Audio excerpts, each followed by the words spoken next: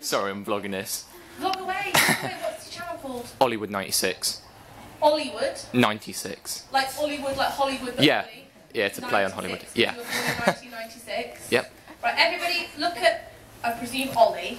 and I've never had this many people looking at me before, just to be honest. this honest. many girls as well. and then we're going to go, um, Aloha Olliewood 96.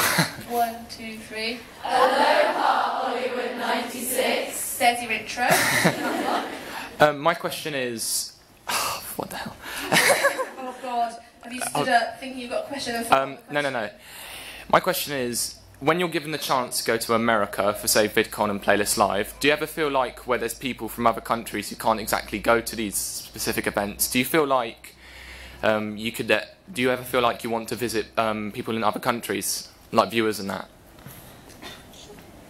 Yes. Do you like, it's great that you get invited to American stuff, but should you go to other countries and would you like to? Was that the question? Yes.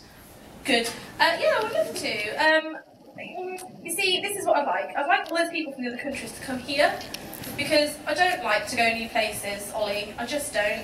Um, I can cope with America because I know where I am with that, and they've got Starbucks. I know that they've got a Starbucks, and I know that they've got a cheesecake factory. So I know that I'm okay in that sense, and I know what the hotel's like there. When I go to a new country, you will have seen this on the other way. It makes me feel like like this all the time. Like you know when someone makes you jump, and you're like, oh. That was it. Imagine feeling like the whole time. You're just like walking, and then you have to also be like, "Hi everyone," but really you're like, that's how it makes me feel. So trips away are very challenging for me. Um, I am trying. I did go to Milan for three days. I'm trying, Ollie. I'm trying. I'm trying to do the same as well.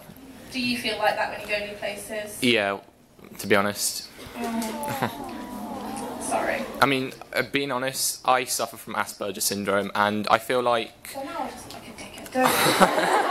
I just don't like it. and like, like just, I feel that sense of anxiety, like where I, I feel really uncomfortable going to new countries, but like, like from doing YouTube, I feel like I've um, felt like I've gained confidence, and also from doing theatre work as well, um, and um, just like.